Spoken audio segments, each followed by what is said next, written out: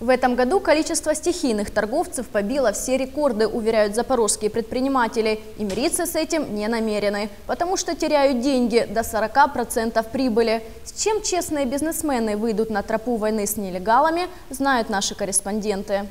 Главная проблема в борьбе с несанкционированной торговлей, считают предприниматели, слишком щадящие наказания. Дальше предупреждений и небольших штрафов дело не идет. Хотя, говорят, по закону злостных стихийщиков можно привлекать к криминальной ответственности. Правоохранители заводить уголовные дела на торговцев-нелегалов не спешат. Потому что в перечне основных проблем э, милиции э, есть там условно 45 проблем первоочередных.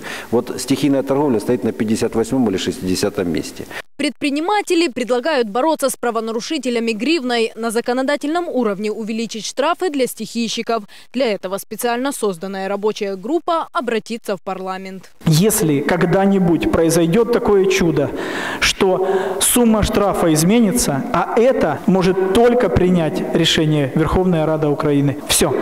Это действительно приведет к тому, что стихийно торгующие будут думать в дальнейшем, когда, извините, будет сумма 1004 штрафа, ну, думается мне, наверное, они не камикадзе. К тому же предприниматели намерены разработать комплексную программу и конкретный план борьбы с конкретными нелегальными точками торговли, а результаты работы собираются публиковать на официальном сайте мэрии.